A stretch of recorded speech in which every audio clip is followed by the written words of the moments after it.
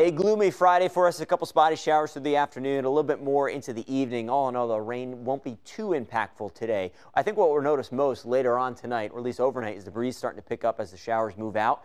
Cool front's going to blow through the region. Sets up a blustery day tomorrow. Holds our temperatures in the 40s, close to 50 degrees. We'll get some sunshine, but we're going to see wind gusts 35 plus miles an hour at times. So especially through the mid to late morning hours, it is going to be windy. The breeze will back off by Saturday evening.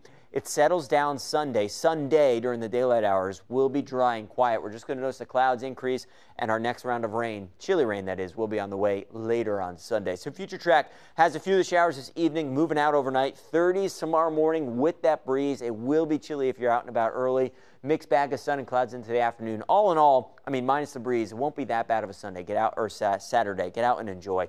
Sunday starts dry and most of the day will be dry, just chilly in the 30s, clouds increasing, and here comes the rain. Around midday, it's still off towards the west, and there's some hints that there will be some snowflakes past I-95, but we're already up into the 40s, so we do not anticipate any wintry precipitation, but it will be chilly rain showers that move in later Sunday as highs hold in the 40s. More rain on the way for us on Monday with another round of some winter winds taking us into Tuesday to keep the cool air around.